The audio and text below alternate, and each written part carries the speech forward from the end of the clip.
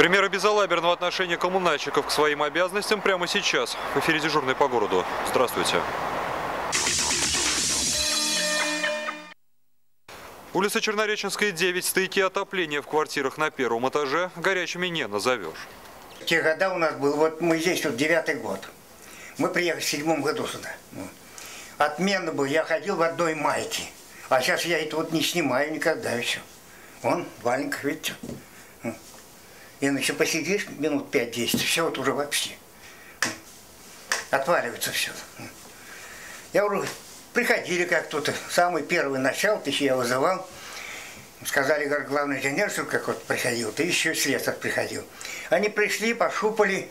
Я говорю, не наша вина, это виноват, говорит, котельня, давления не хватает. Я говорю, я как же давления не хватает? Я говорю, когда говорю, сверху стояки-то идут, я говорю, чего, пленки все-таки?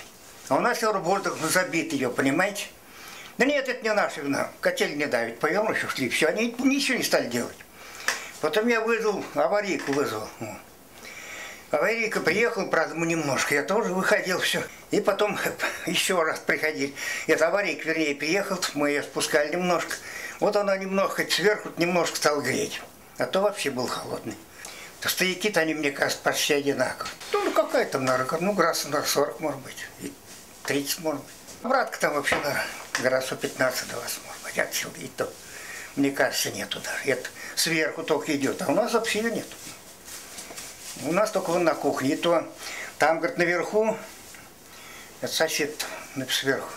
Он говорит, я поставил, говорит, кран Маевску поставил говорит, в этом году. Он говорит, я частенько спускаю. Вот там заработало. Там на работах-то с батареи-то вышло. Она работает. Вот, хоть до дна греется на тепло. Хоть тепло хоть немножко. А тут воздух набитый. в этом году нас же меняли, трубы меняли. Вот. У нас было 120 был где-то, 125. А сейчас на 250 они заменили. 125 было, я в одной майке ходил. Всю зиму я никогда не одевал рубашку. А в эту зиму, как они труб-то сделали, а секретариат у нас какие? Придут, подачи обратно открыли и повернутся. Они никогда не, не проверяют даже, вот чем дело.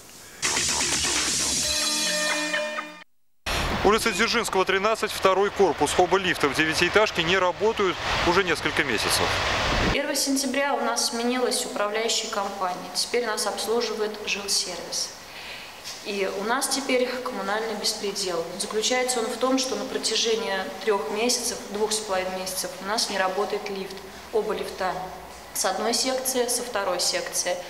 А, постоянные звонки не дают абсолютно никакого результата. Писали письма а, в жилищную комиссию, а, звонили депутатам, бесполезно. Что нам делать, мы не знаем. Я живу на седьмом этаже, у меня ребенок 9-килограммовый, я его постоянно каждый день ношу в поликлинику на процедуры. Скажу больше, у нас на девятом этаже есть женщина, у нее ребенок инвалид, как ей быть?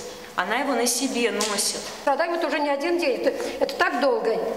Это не то, что неделю, там вот два с половиной месяца походить вот на восьмой этаж. Это очень тяжело.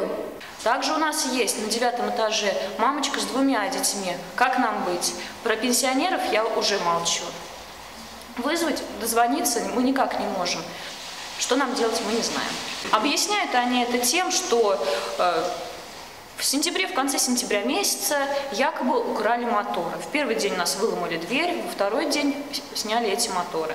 Одним они говорят, что э, вроде как бы накопим деньги, сделаем. Вторым они говорят, что мы уже купили необходимую запчасть. А третьим они говорят, все, вы подходите к капремонту по лифтам, давайте подождем.